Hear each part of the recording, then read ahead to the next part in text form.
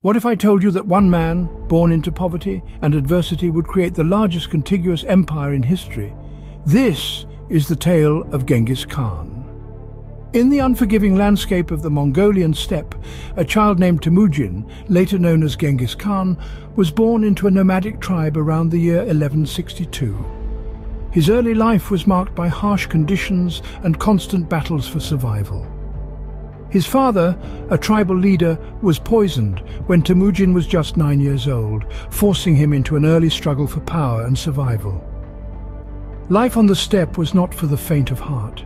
It demanded resilience, cunning, and a relentless will to live.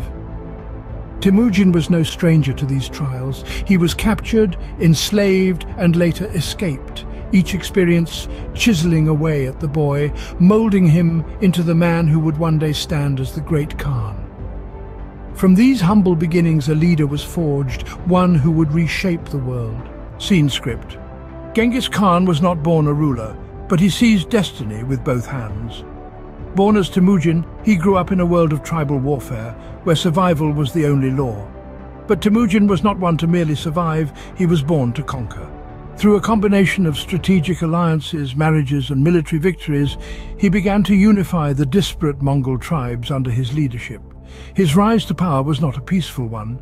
It was a tumultuous journey marked by key battles that shaped the course of history. The Battle of Dalan Balchut was one such conflict. Temujin, barely 20 years old, faced the formidable Tatar army. Despite being heavily outnumbered, he turned the tides of the battle in his favor with his innovative military strategies. He introduced the decimal system in his army, a radical departure from the tribal organization. This allowed for greater mobility, flexibility and command control. He also harnessed the power of psychological warfare, using fear as a weapon to demoralize his enemies.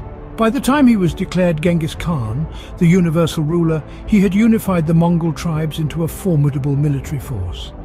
His innovative strategies had not only changed the face of warfare, but had also laid the foundation for the largest contiguous empire in history. His leadership and tactical genius had created a force that seemed unstoppable, and this was just the beginning. At its zenith, the Mongolian Empire stretched from Eastern Europe to the Sea of Japan, an expanse of land unmatched in history. This vast realm was the dominion of a single man, Genghis Khan, whose military genius was matched only by his administrative prowess. Unlike conquerors who sought to erase the cultures of those they defeated, Genghis Khan adopted a different approach. He allowed the conquered people to retain their customs and religions, provided they pledged allegiance to him. This policy of relative tolerance fostered a sense of unity and cooperation within his diverse empire.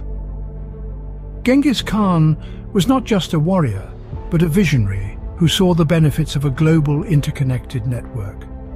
He established trade routes that linked the East and the West, creating a conduit for the exchange of goods, ideas and knowledge. These routes, famously known as the Silk Road, became the lifeblood of his empire, facilitating economic growth and cultural exchange. Moreover, recognizing the power of communication, Genghis Khan introduced a written language for the Mongols. This was a significant move towards unifying his people and facilitating efficient governance. For the first time, the Mongols had a language that was their own, a symbol of their identity and strength.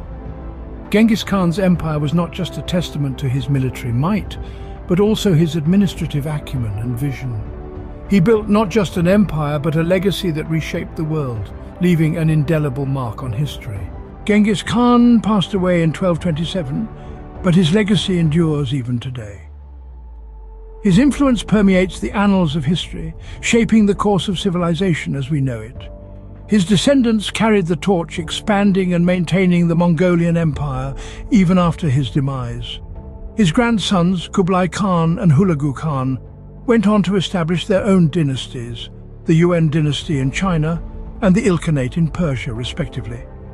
The Mongolian Empire, under Genghis Khan's leadership, revolutionized communication with the establishment of the Silk Road, promoting trade and cultural exchange. Fast forward to present times, his legacy echoes in modern military strategy, political structure and cultural diversity.